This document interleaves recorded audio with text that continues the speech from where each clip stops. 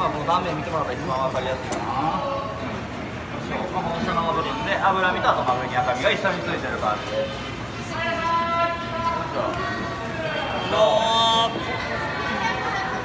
はい、今ので980円。で先頭。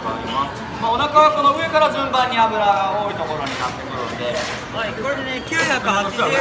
順番に取っていただいたら。お腹はハラミです。